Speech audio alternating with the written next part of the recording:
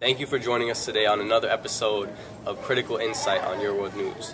Today I will be hosting your show. My name is Tim Baldauf-Lenschen, and it's an honor for us to be joined today by Harris Daniels from the African People's Solidarity Committee, which is an organization underneath the Uhuru movement.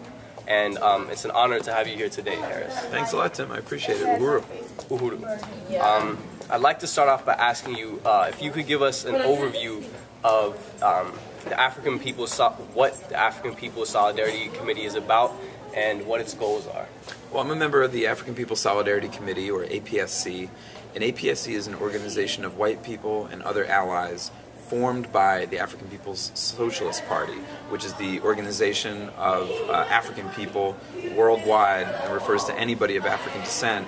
Uh, it's a revolutionary organization founded by Chairman Omali Yeshitela, who's the chairman and leader of the organization today.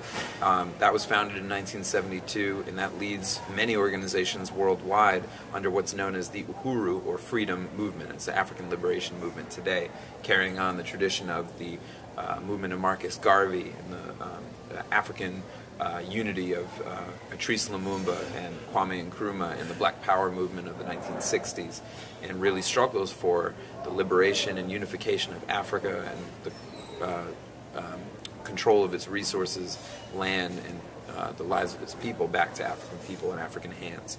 And in 1976, the African People's Socialist Party formed the African People's Solidarity Committee, which is an organization and a strategy specifically for anyone who is of what we refer to as the oppressor nation, those who are of European descent or those who are, um, you know, not African and not of the oppressed African or indigenous um, communities to have a principled relationship and to mm-hmm. work directly under the leadership in an accountable way to the struggle for liberation for African people. So our role is not to be leaders of African people or to tell African people what they need or tell them what to do. It's quite the opposite of that. It's for us to take leadership from the people whose struggle um, is so, you know, uh, urgent in this crisis of imperialism. We want to um, take all the resources and all the skills that we've been able to have access to because we live at the on the pedestal of the stolen land of the indigenous people, stolen wealth and stolen resources of African people, and this entire system built on slavery and genocide that has benefited us. Right. It's our responsibility to make reparations by turning over our skills and resources and working in a movement it's organizing solidarity with the goals of the African liberation movement as led by the African People's Socialist Party. So we believe that capitalism is, um, you know, a system that's only been around for 400, 500 years of the thousands and thousands of years of mm-hmm. human um, existence has only benefited the uh, few at the expense of the many. And that, you know, it's based on the slavery and genocide of African people and indigenous people and, and, and the resources of those people to benefit Europeans, you know, who came out of Europe, out of the, the, the plague that devastated so much of the European population, right. to find land and resources to build up Europe at the expense of Asia and Africa and the Americas. And we want to overturn that system. We want to be part of the struggle for freedom and for self determination for African people.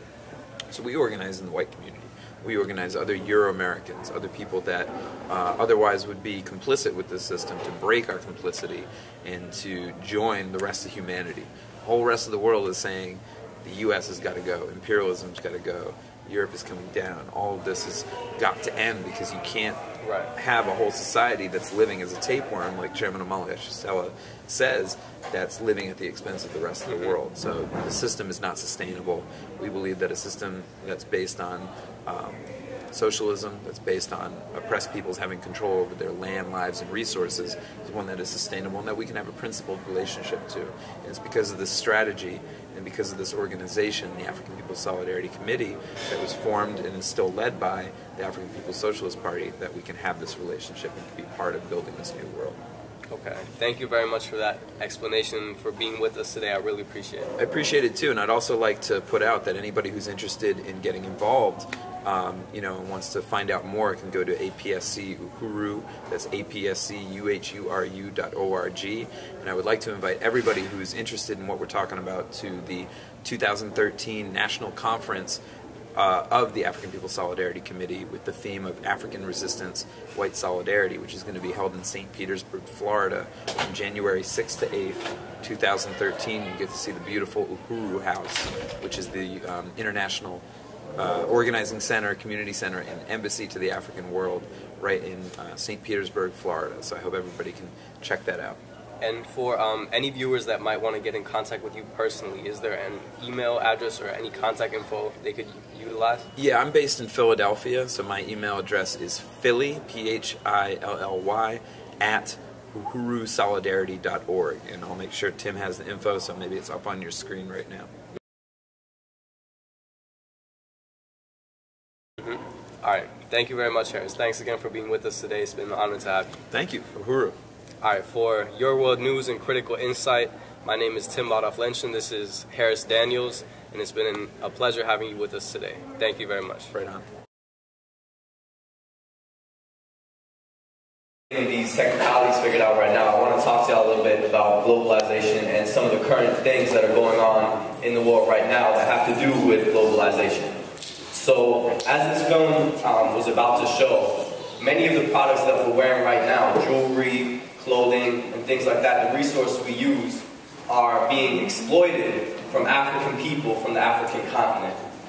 I especially want to mention the Congo, where right now, trillions and trillions of resources are underneath the feet of the Congolese people. However, they do not they do not own those resources themselves, but they are being exploited from greedy, mostly white Western imperialist forces and right now, um, in case of the U.S., that face happens to be brown. So some of the things that are going on is there's massive murder and rape in the Congo. Over 10 million people have been slaughtered and died. There's a genocide going on. I'm sure all of you are familiar with the Holocaust, which where uh, 6 million Jewish people were gassed in gas chambers. But this um, genocide in the Congo has killed more people, yet there is silence in the global community.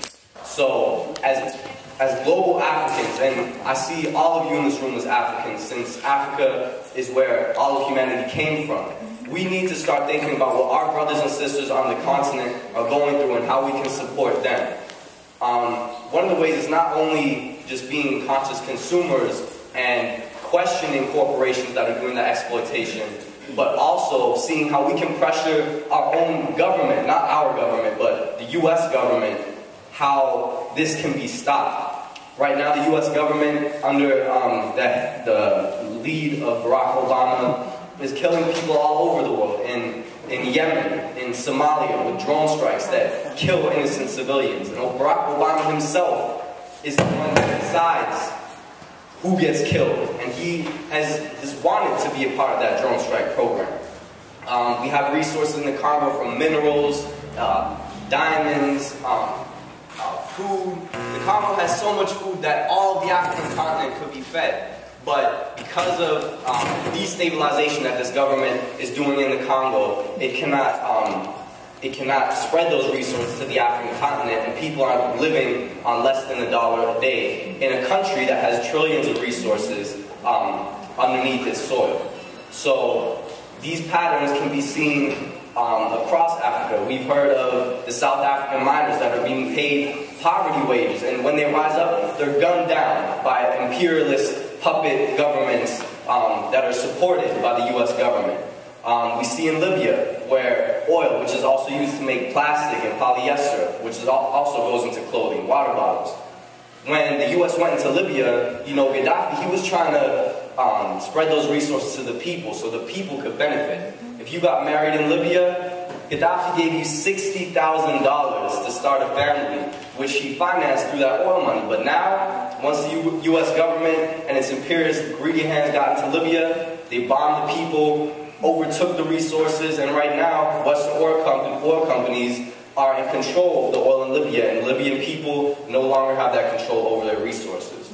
So when we look at those different issues in the world, what we need to do is realize that we are all interconnected. We are all global citizens. From the things we wear and the things we buy, that is funded, that is funding the oppression of people, most of the time African people, uh, black and brown people, through um, Western imperialism, and we need to be fighting against that so that we are not part of the problem but actively fighting against the problem.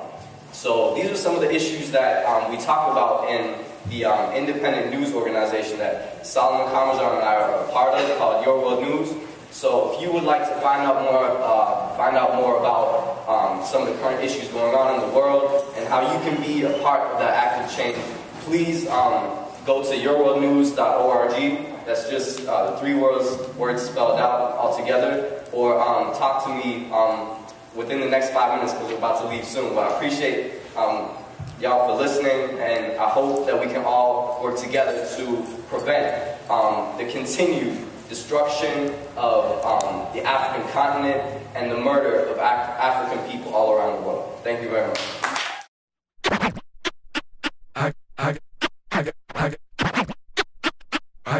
Letter from the government the other day. I opened and read it and burned that. Man, the way that I live don't concern that. Man, we gon' have to settle this another way. A letter from the government the other day. I opened and read it and burned that. Man, live don't concern that. Man, we gon' have to settle this another way. Movement, music, moving to it. Put a fist up, prove it to us. This is much more than music to us. This is beauty and strife. And if you know about the music, then you know about life. This is movement.